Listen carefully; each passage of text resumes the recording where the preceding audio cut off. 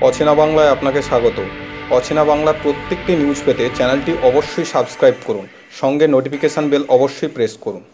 আঠারোশো সাতানব্বই খ্রিস্টাব্দে উনিশে ফেব্রুয়ারি বিশ্বজয়ী স্বামী বিবেকানন্দ তার দেশীয় ও বিদেশি শিষ্যদের নিয়ে জাহাজে করে কলকাতার পথে বাংলার মাটিতে তথা বজবজের শুভ পদার্পণ করেন। স্টেশনে প্রতীক্ষালয়ে সাময়িক বিশ্রাম নিয়ে ট্রেনে সবার অলক্ষ্যে এই জনপদকে ধন্য করে শিয়ালদার উদ্দেশ্যে রওনা দেন। বজবাজে প্রাচীনত্ব বলে কিছু নেই। নেই কোনো পুরাতন রাজবাড়ি, নেই কোনো ভাঙা জমিদার বাড়ি।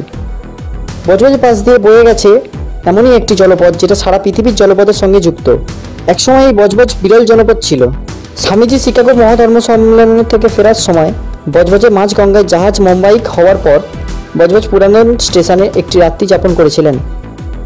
বজবজে তার অবতরণ স্থানটি বজবজ এক নম্বর জেটিঘাট নামেও আমরা জানি।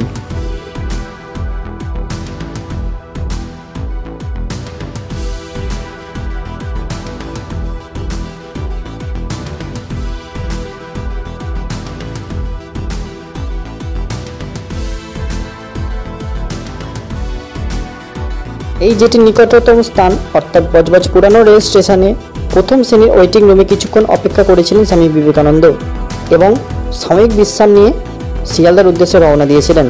এই ঘরে রক্ষিত একটি কাচের ঘরে স্বামীজির স্মৃতি বিজড়িত একটি চেয়ার, যেটা বর্তমানে পূর্ব রেলওয়ের হাওড়া মিউজিয়ামে রক্ষিত আছে। সেটি যথাযথ মর্যাদায় যাতে রক্ষিত হয়, তারও ব্যবস্থা করবে কমিটি। বছর এই কোমাকাতা মালুকে নিয়ে আরও অনেক ঐতিহাসিক ঘটনা হয়েছে, যেটা গোটা পশ্চিমবঙ্গ তথা ভারতের কাছে গর্বের কারণ।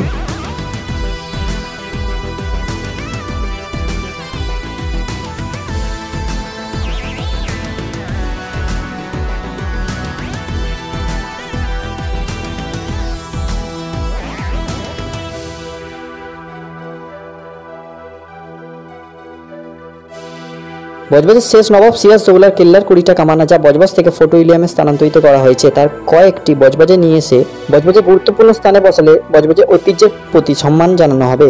বজবজ কেল্লার বহিঃপরীক্ষার ভগ্নাংশ যা সিরাজনগর নামে পরিচিত, যা আজও দৃশ্যমান।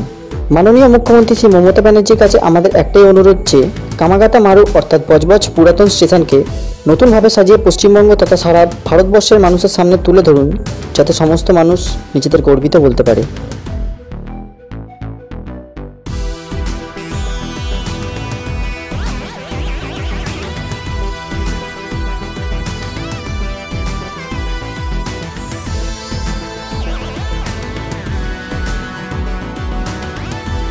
তাই আজ, অর্থাৎ পনেরোই সেপ্টেম্বর, বজবজ বিবেকানন্দ স্মারক কমিটির উদ্যোগে বজবজ এ ট্যুরিস্ট ডেস্টিনেশন নামক একটি ভ্রমণের কর্মসূচি আয়োজিত হয়।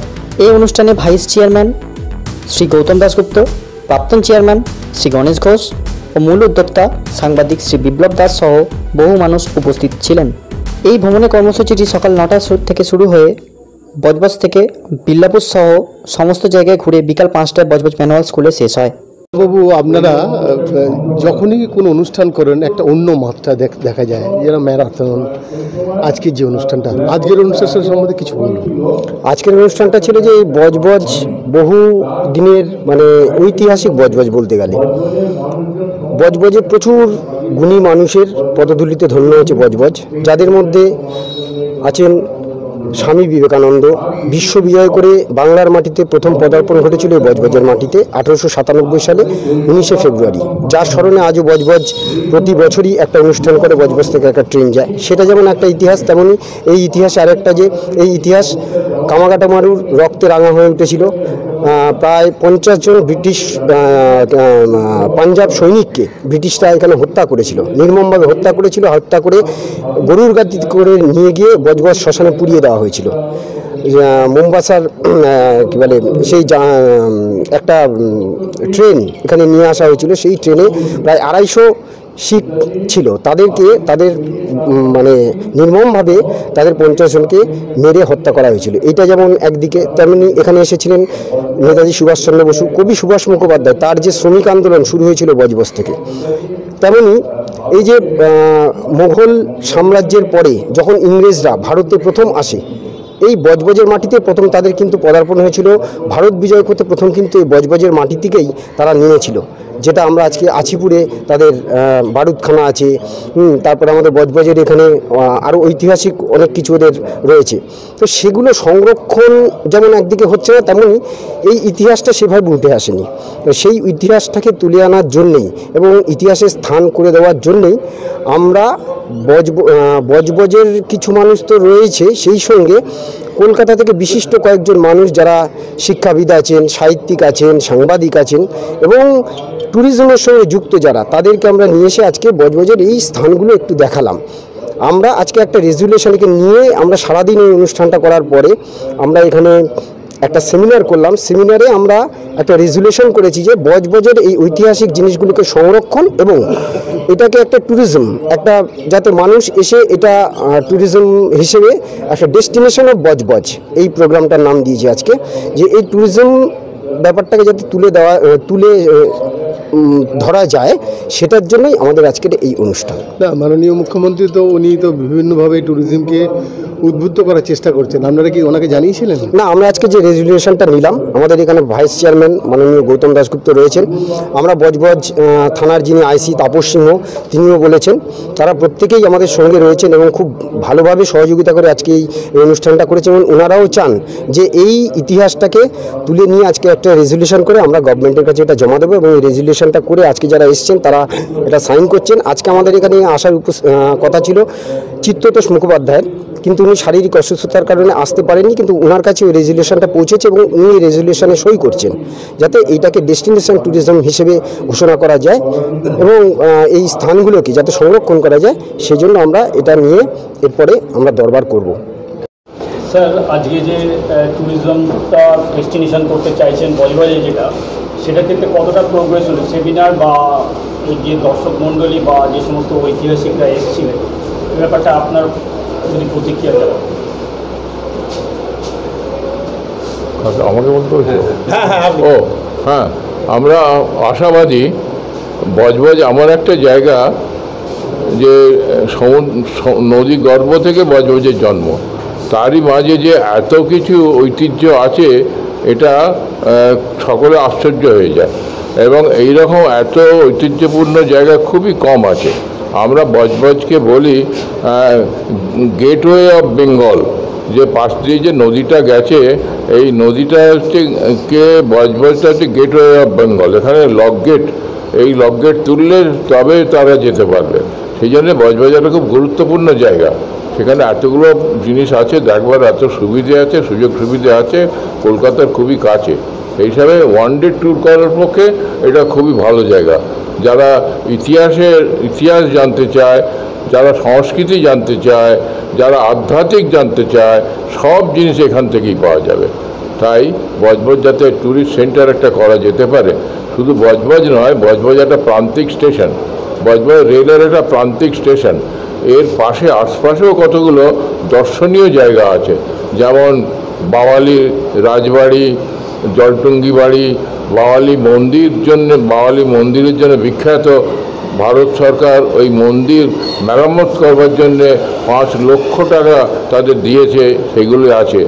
এছাড়া আছে বড় আহ, শিবতীর্থ সেখানে লক্ষ লক্ষ মানুষের সমাবেশ হয় দিনের দিনে অন্য দিনে প্রায় হাজারখানেক মানুষ প্রতিদিনই আসে। এখানে রয়েছে আহ, মুচিসার বাগান। সেই বাগান পাঁচ বিঘে দশ, পাঁচ বিঘে সাত বিঘে জমিও যেমন বাগান আছে, তেমনি ঘরে ঘরেও চাষ হয়। অর্থাৎ কুটির শিল্পের মতো আছে। এবং কলকাতার যত হোটেল টোটেল আছে, তাদের পুষ্পসজ্জা এই মুচিসা থেকেই যায়। এবং মুচিসা থেকে ফুল এবং ছোট ছোট গাছ, বনসাই, এগুলো আরব দেশে প্রচুর যায়। সেই জন্য এটা একটা খুব দেখবার জায়গা আছে। এছাড়া আমাদের রায়পুর থেকে রায়পুর থেকে বেহালা রায়পুর থেকে ফলতা পর্যন্ত মেরিন ড্রাইভ হ্যাঁ এটা একটা অসাধারণ জায়গা, মেরিন ড্রাইভ। এবং সেখানে ফলতাতে জগদীশ বসুর জগদীশ বসুর সেন্টার রয়েছে যে ঘাটে বসে তিনি লিখেছিলেন, নদী তুমি কোথা হতে আসিয়াছ? এইসব জায়গাগুলো সব দেখবার মতো সুবিধে জায়গাগুলো আছে। এইসব নিয়ে একটা সার্কিট ট্যুরিজম যদি করা যায়, তাহলে কাছাকাছি কলকাতার কাছাকাছি তাহলে বহু মানুষ আকর্ষণ করবে। ক্লাবের মধ্যে একটা রেজুলেশন তৈরি হলো। এই ব্যাপারটায় আপনারা কতটা সহযোগিতা করবেন? আজকে একটা আলোচনা সভা হয়েছে। বজবজ বিবেকানন্দ স্মারক কমিটি উদ্যোগে ও বিবেক সংগতির সহযোগিতায় শ্রদ্ধেয় গণেশ ঘোষের উদ্যোগে এবং ভাতৃপ্রতিম সাংবাদিক বিপ্লব দাসের ব্যবস্থাপনায় যে বজবজ যে ট্যুরিজম ডেস্টিনেশন অর্থাৎ বজবজ যে একটা ভ্রমণ পিপাসু মানুষের কাছে দ্রষ্টব্য স্থান হতে পারে, তার যথেষ্ট উপাদান বজবজে আছে। সেটা সকলের কাছে যাতে ঠিকভাবে তুলে ধরা যায়, প্রকাশ করা যায়, তার একটা প্রাথমিক পর্যায়ে আজকে আলোচনা হয়েছে। কলকাতা সংস্কৃতি কেন্দ্র, কলকাতা কালচারাল সেন্টার পল্লববাবু যার সম্পাদক, গণেশবাবুর আমন্ত্রণে তিনি তার সংগঠনের সমস্ত সভ্যরা এসেছিলেন। তারা বিভিন্ন ক্ষেত্রের বিভিন্ন পেশার বিখ্যাত ব্যক্তি, অতীতযশা ব্যক্তিত্বরা।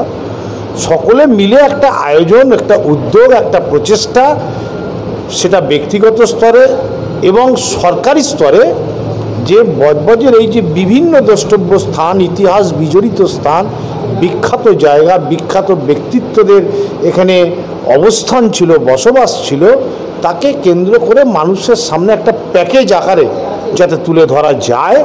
তার জন্য এবং tourism department government of west বেঙ্গলে সেখানেও যাতে উল্লেখযোগ্য জায়গা হিসেবে বজবজের নাম নথিভুক্ত করা যায়, সেই প্রস্তাবও এসেছে এখানে। আমরা পুরসভার পক্ষ থেকে গোটা বিষয়টাতে সহযোগিতা করতে প্রস্তুত। এটা পুরসভা এলাকার বাইরেরও আছে, সেখানে অন্যান্য স্বশাসিত সংস্থা আছে, কিন্তু পুরসভার এখানে যে সামাজিক দায়বদ্ধতা আছে, আমরা সে ব্যাপারে সম্পূর্ণ প্রস্তুত এবং এতে আমরা আনন্দ এবং গর্ব অনুভব করব।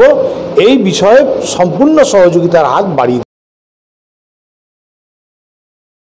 রাজ্য ও শহরের প্রতিটি নিউজ তৎক্ষণাৎ পেতে আমাদের চ্যানেল অচেনা বাংলা অবশ্যই সাবস্ক্রাইব করুন।